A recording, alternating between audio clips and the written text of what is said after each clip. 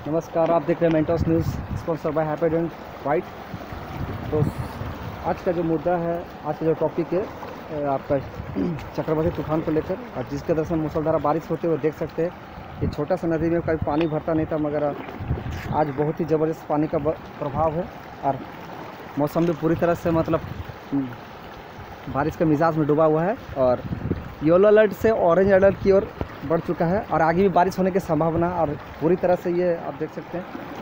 ये भरा हुआ पूरी तरह से पानी मैं आपको कैमरा को दिखाता हूँ डीपली। देख सकते हैं ये।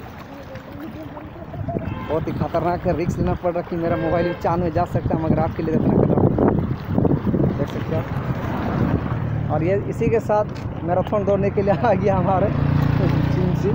और ये देखिए, जहाँ देखिए पानी चारों तरफ़ फैला हुआ है पूरी तरह से। ये, और ये सीढ़ी भी डूबा चुका है। एक्चुअली में सीढ़ी कभी डूबता नहीं था, मगर डूब चुका। है और मैं आपको आगे को लेके चलता हूँ।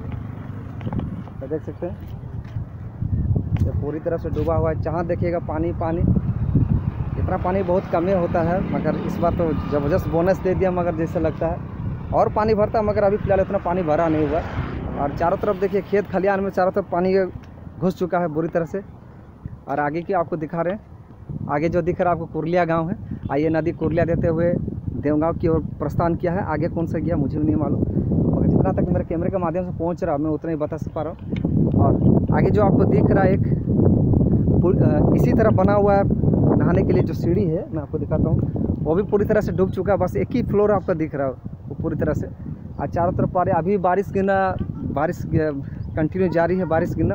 आप देख सकते हैं, छीटा मार रहा। और इसलिए कि आपको वीडियो बना रहा। है ये पुलिया डूबने के कगार पे है, कभी भी डूब सकता है। शायद आज रात को डूब जाएगा, क्योंकि छोटी पुलिया होने का आता है, मूसलाधार बारिश होने से पूरी तरह से ये पानी भरा हुआ है। और चारों तरफ़ पानी ही पानी है। ये देख सकते हैं आप। और इसी के साथ मिलेंगे फिर एक नए ब्लॉग के साथ। देखते रहिए। संदीप ब्लॉग, सिर्फ़ संदीप दास के साथ। धन्यवाद मेरे वीडियो को देखने के लिए।